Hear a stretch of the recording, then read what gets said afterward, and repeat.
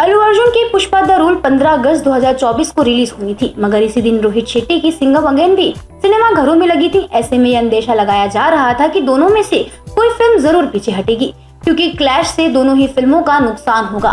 खबरें चली कि पुष्पा टू के मेकर्स अपनी फ़िल्म आगे खिसकाएँगे, मगर आज सारा कंफ्यूजन दूर हो गया, क्योंकि अल्लू अर्जुन की फ़िल्म के मेकर्स ने ये कंफर्म कर दिया है कि उनकी फ़िल्म 15 अगस्त को ही आएगी। ऐसे में पुष्पा टू और सिंगम अगेन का क्लैश कंफर्म हो गया है। पिछले दिनों सलार और डंकी एक दिन के अंतराल में रिलीज़ हुई थी, इससे उनकी कमाई पर फ़र्क पड़ा था।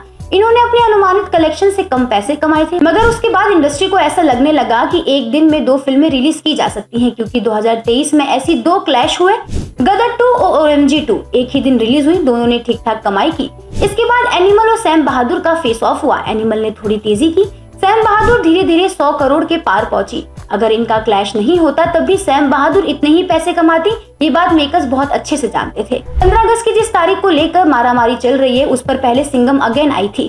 फिर पुष्पा टू वालों ने भी उसी डेट को फ़िल्म अनाउंस कर दी और अब पीछे भी हटने को तैयार नहीं है।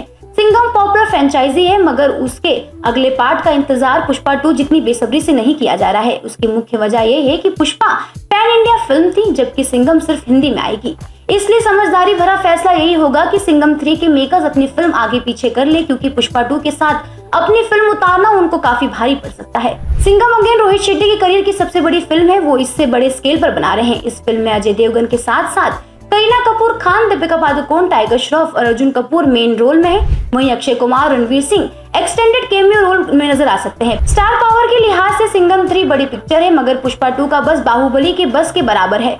सूत्रों ने बताया कि अजय देवगन पुष्पा टू की रिलीज़ डेट अनाउंस से खुश नहीं थे। अजय देवगन के एक करीबी दोस्त ने एक इंटरव्यू में बताया था एकदम से आकर एक ऐसा स्लॉट नहीं ले सकते जो पहले से ही लिया जा चुका है। सिंगम अगेन की रिलीज़ डेट का ऐलान बहुत पहले ही हो गया था। इस तरह के गेट क्रैशिंग बॉक्स ऑफ़िस के लिए हानिकारक हो सकती है। पुष्पा द रूल एक ऐसे लड़के की कहानी है जो मजदूर से चंदन की लकड़ी का स्मगलर बन जाता है। दूसरे पार्ट में ये दिखाया जाएगा कि कैसे वो इस धंधे में अपना वर्चस्व कायम करता है। मगर कैच ये है कि इस बार उसके पीछे एक पुलिस वाला लगा है जो किसी भी हाल में पुष्पा राज को रोकना चाहता है।